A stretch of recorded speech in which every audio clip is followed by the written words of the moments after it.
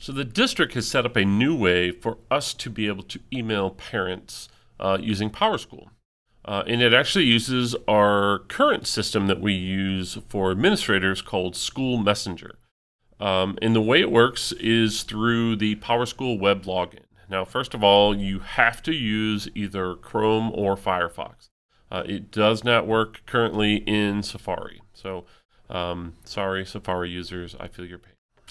But once I'm logged into uh, either Chrome or Firefox into my gradebook, there is now an option on the left that says Message Sender. And when I click on that, it's going to load and it's going to give me some options. Now, so here I get to choose uh, what the subject of my message is going to be. So if I'm going to send an email to parents, um, this is where I would type in the subject of that email and then I can choose what type of message this is. This is going to be a teacher message. We you don't have permission to send emergency uh, notifications for snow days and things like that. Uh, and then down here at the bottom, you can control who is going to receive this message. So I'm going to add message recipients. And from here, there's an option that says class sections. So if I hit class sections, this will show me all of the different sections I teach. So I can choose my school. Uh, if you teach in more than one school, you'll have more than one. Otherwise, you'll only have one option. And then from there, it'll show you all of your sections.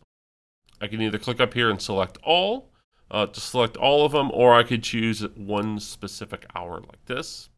And then I tell it to add those recipients. And it generates that automatically. Now, a couple cool things here. Um, it does show me uh, that it has 17 people who are going to get emailed.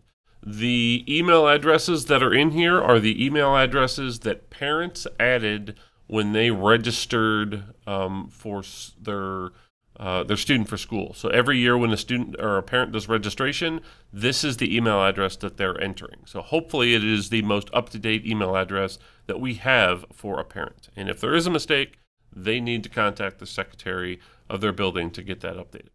Um, it also tells me that 15 of these uh, participants requested English as their main language, and two of them requested Spanish. More on that in a second. So now that I have my participants all or recipients all entered in here, I'm ready to go ahead and hit continue. Uh, if I wanted to, I could X this out. I could also save this list for later, or I could actually preview this list which will actually show me all of the names and addresses on who's going to receive this information.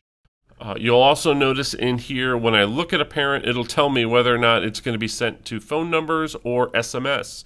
If a parent has opted in for text messages, um, then those options are going to show up in here as well, uh, meaning that they will receive text messages at the same time. All right, so now I'm going to hit continue. And now I have the ability to either send a parent an email out or an SMS text message. So I could choose to email uh, and have the ability to simply compose my message the way I normally would. Or I could send them a text message instead.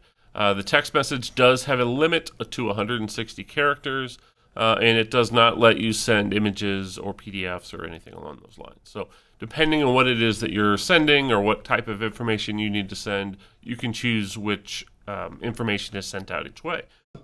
Now, it's also important to point out that, again, if a parent has not opted in for text messages, they are not going to receive it. So we need to make sure that um, email is probably the most widely um, accessible view uh, for most parents to be able to receive it. So when I go to email, so I can give a reply to email in here if I don't want it to be my district email um, for some reason. Um, I could also choose, again, to change that subject. And then I have a basic editor. This looks like the rich content editor that exists in um, Canvas. It gives me the ability to change font size colors. Um, it does have the ability to attach files to it if I wanted to. I can insert pictures, I can insert links, tables, um, and so on. So a pretty basic uh, email editor. Um, I can go in here, type in my message. Now, before I hit save, one last thing I'm going to do here is there is a box here that says translate. And what this will do is this will add translations of your message to anyone who requests your message in a different language. So Uh, back on that first page, I showed that we had two people who requested uh, Spanish for their um, preferred language for PowerSchool. So if I tell it to translate just by checking this box, then it is going to send the translation in any number of these um, translations based on what language they need. So I don't have to do anything other than um, check that box. But whatever I, uh, whatever languages that needed to be sent will be sent in the appropriate language to those people. So I could uncheck the boxes of the languages I don't want, or I could just leave it um, for those parents either way. So now that I'm finished, I'm going to go ahead and hit save.